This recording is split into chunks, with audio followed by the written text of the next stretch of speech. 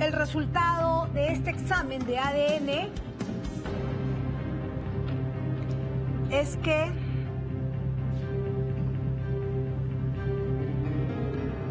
Jorge Luis Velarde Salas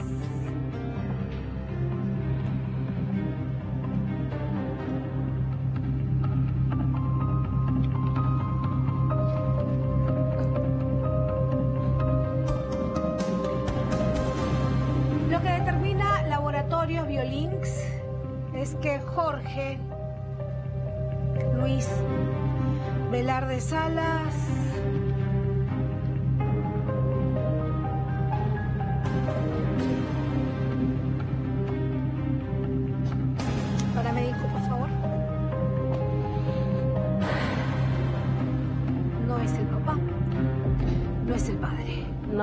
¿Ves? No ahí es. está, pues. Ahí Ahí está. la demanda que le hiciste a mi marido para que Ahí se vaya a la cárcel. Ahí está. No fue por eso. Sí, Ahí Janet, está, Janet, eso, eres mala, mala. No soy mala. mala. No me juzgues vamos errores. Disculpe, pero quisiera ver que si le hace el ADN a su hijito mayor. A ¿A ver que, le lo haga? Que lo haga. Si tú no apoyas, que lo haga. Que lo haga. Vuelvo a escucharlas a las dos y no escucho a Jorge, que finalmente creo yo es el es la persona eh, en este caso afectada porque sí, ella lo ha denunciado, pero no es el papá. Te dije, amor, te dije.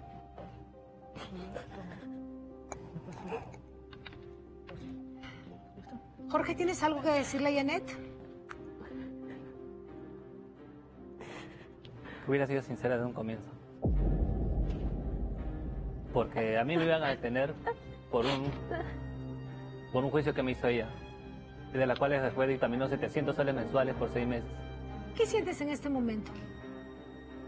Dolor.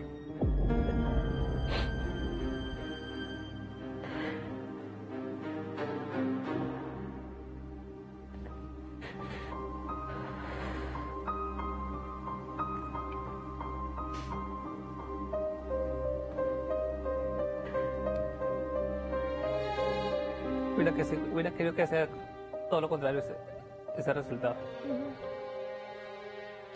Me queda claro. Las reacciones eh, son distintas, ¿no? Uno nunca sabe qué es lo que encierra el sobre, como les digo. Janet, dentro de todo, tú tenías una duda. ¿Qué te puedo decir? Tú sabes quién es el padre y tú te quieres guardar el nombre. Sin embargo, eh, yo te voy a proponer algo. Está con nosotros el conciliador José Andrés Chumán. Buenas noches, conciliador. Buenas noches, Andrea, Janet, Jorge, buenas noches. Buenas noches, doctor. Terrible historia la de hoy. Acá hay dos situaciones. Por un lado, Janet, eh, si, no, si el papá no es Jorge, que no es Jorge, que ya lo sabemos, eso es el otro hombre cuyo nombre tú quieres guardar. Tienes todo el derecho, pero sí te pido que lo hagas por tu hijo. No me lo tienes por qué decir, no, no lo tienes por qué decir públicamente, pero que se lo digas a la investigadora, que converses con ella y si tú quieres, mira lo que te voy a proponer, si tú quieres eh, poder seguir con esta historia Andrea, mire. y saber la a verdad, a menos que quiera decir ahorita quién es el papá de tu No, hijo. antes que nada, que se guarde sus lágrimas de cocodrilo. No, no, no, no, no seas sinvergüenza, no seas sinvergüenza, no, eso no te lo voy a permitir, pero no seas Andrea, sinvergüenza. cometió un error, pero que no vea ¿Cuál fue la de la error? víctima. ¿Cuál fue tu error? El día que me enteré que él estaba saliendo con, con ella... Ese no fue tu error. Eh, no estás, Sigue entendi- mintiendo. no estás entendiendo nada. ¿Sabes Sí. cuál ha sido tu error? Tú le has entablado un juicio a él, ¿verdad? Claro. Hiciste que él le ponga los apellidos. Sí. Tú le dijiste a él que el padre era él, ¿verdad? Sí. Ya, entonces mentiste, pues. El error de haberte acostado con otro hombre es otra historia aparte. Tú lo que has hecho es decirle a una persona teniendo dudas, ya, teniendo dudas, ojo, tú le dijiste a él que él era el padre, hiciste que él firmara un hijo teniendo dudas. Ese es el error, pero no por él, por tu hijo. Porque tú no sabías quién era el papá. Tanto así que ha venido aquí al programa y ha salido negativo. Entonces tampoco hay que ser tan sinvergüenzas. No hay que ser tan sinvergüenzas, de verdad te lo digo. Eh, conciliador, Andrea, discúlpeme. al contrario. Eh, no, discúlpeme, de verdad. Eh, acá lo que tenemos que hacer es lo siguiente. Él tiene un hijo con, con Janet. Estamos seguros que es su hijo. Tiene que cumplir con una pensión y tiene que haber alguna manera, más allá de estas medidas de protección, del que él pueda acercarse a su hijo mayor, ¿verdad? Así es, Andrea. Lo más importante es que acá tenga que renormalizarse el derecho a la identidad del segundo niño. Lo que está haciendo en este caso la mamá es negar un derecho elemental, trascendental.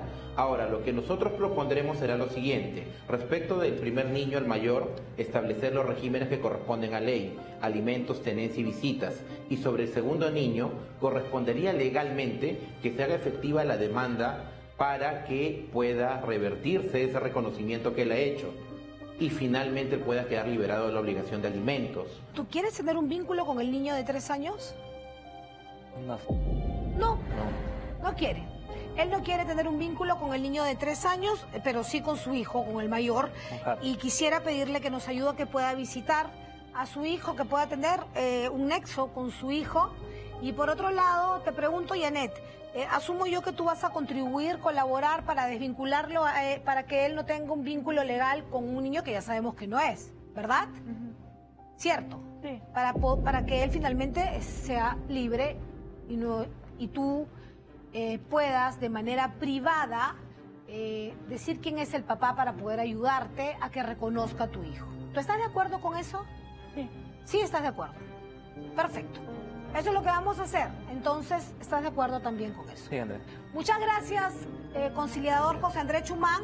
En este momento, eh, Janet y Jorge se van a acercar, van a conversar con usted para empezar de una vez con estos trámites legales. Muchas gracias por haber estado Muchas aquí. gracias Gracias. No, gracias. Gracias, mire, por Gracias, gracias también, verdad. Janet. Gracias. Jorge. Gracias, Natalie. No les digo, la vida siempre nos sorprende. Son las historias de la vida real. Esto sucede con más frecuencia de la que ustedes se imaginan, como se estarán dando cuenta, ¿no? Un niño de tres años, un niño que tiene todo el derecho de tener una identidad. Y es lo que vamos a hacer el día de hoy. Ahora sí me tengo que despedir. Gracias por acompañarnos. Nos vemos. Muchas gracias. Muchas gracias.